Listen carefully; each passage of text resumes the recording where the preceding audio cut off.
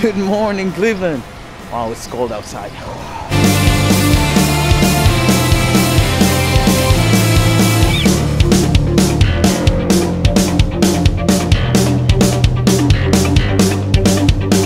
Oh, it's so foggy today and cold. I think I'm kind of getting used to the cold part, but the foggy shit, ah, I don't like that. anyway, I got here yesterday and I just slept through the like the whole yesterday. Um, and today it's it's I think it's rock and roll time. So let's go check out the museum. It's not a museum, it's a Hall of Fame of rock and roll. So let's go check it out.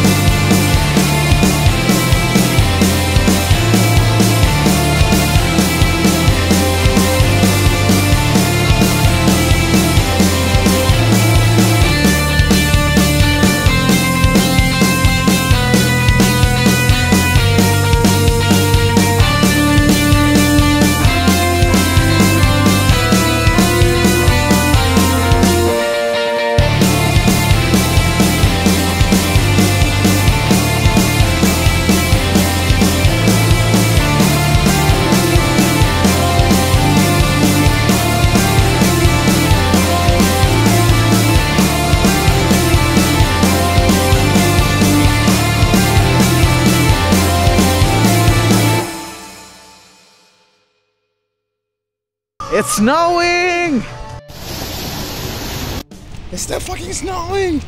And I had to leave my bag with my camera and all that in my room in my apartment because apparently they don't allow you to bring cameras and stuff and um like the game is like 40 minutes away and I'm not sure if I'm gonna make it ah! yeah the bus is late I'm definitely not gonna make it to the game ah, it sucks I mean there's a slight chance that I make it to halftime, but. Ah. So yeah, this is how my day ends. Uh, sorry I didn't sign up for anything, so I'll do that now from my phone. Uh, the Rock and Roll Hall of Fame, highly, highly recommend that. If you in the US in general, just come to Cleveland just for one day just to see that. That was amazing.